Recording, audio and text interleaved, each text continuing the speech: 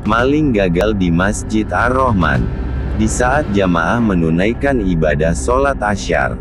Pada tanggal 9 Februari tahun 2023.